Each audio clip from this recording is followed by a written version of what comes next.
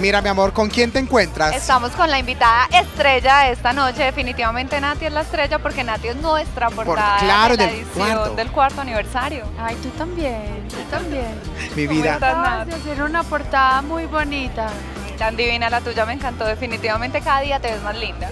Ay, linda, gracias. Nata, yo quiero hacerte una pregunta porque ayer hablaba con un amigo, me decía que se lo presenté por cosas de la vida a Natalia, y él me decía, marica, perdón, la palabra, perdón, gordo, eh, Nata es hermosa. ¿Cómo hace? ¿Cómo hace? Yo, porque todo es proporcional, porque tiene un espíritu bonito, porque abraza con amor.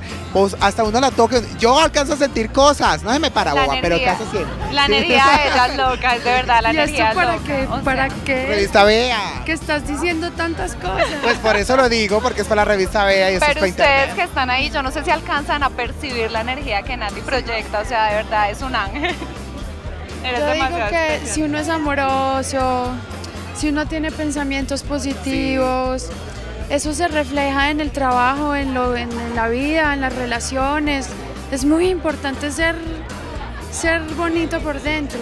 Nati, pero acá todos quieren saber cuáles son los secretos y qué es lo que guarda Nati París en su cuarto. Ay, dime los tuyos más bien. Sí, ya di los tuyos, tuyos. suéltalos. Yo también estoy de acuerdo con Nata, No, cuenta. Es que, es que no tengo muchos secretos, o sea, la verdad no guardo casi cosas en mi mesita de noche. Na- no, yo puedo, yo solamente una vez al apartamento de Nata.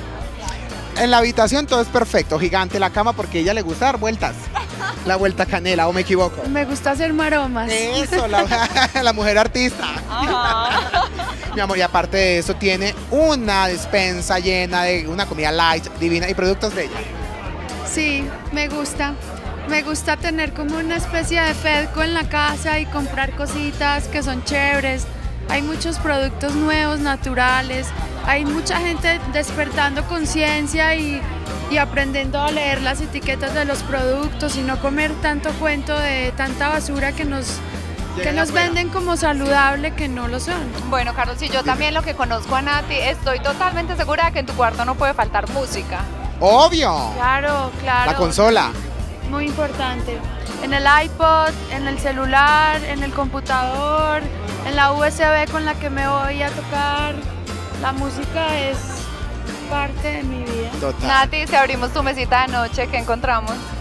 Pues mi mesita de noche no tiene, tiene cajón. No tiene no cajón. Ay, Solo tengo una lamparita y los libritos que me estoy leyendo ahí, que a veces leo uno, otras veces voy cambiando y leo otro. Nati, una, pregunta que se me ocurrió. Tú, una mujer que te cuidas tanto, ¿comes chicharrón a veces? Nunca. Ay, no. nunca. ¿Con qué pecas? ¿Con qué pecas? Con el dulce, con el chocolate, La grasa con no. los helados, pero chicharrón. Qué delicia. Es demasiado No. juiciosa. Sí. Nati, no, yo sí como chicharrón. ¿Come chicharrón? yo sí me lo Ay, como. mi amor, obvio. La Nati, pero yo creo que yo ¿De me- cuánto? De ocho patas. No. Divina. Nati, chorizo, tienes tienes- cosas así Embutidas. Grasosa. muy engras, muy llenas de grasa. No. Ay, yo quisiera ser como tú, pero no puedo, mi amor. Bienvenida a la fiesta. Nati, pero tienes, no comes dulce. Sí. Espérate, Dicen no que peor es dulce que la grasa. Tienes televisor en tu cuarto. Sí, me aterra, yo no quería, pero a mi novio le gusta ver películas. Antes Claro. de conocerlo yo no tenía televisor. Para incentivarla. Te amo, mi amor. Besito. Yo también. Bienvenida, Nati.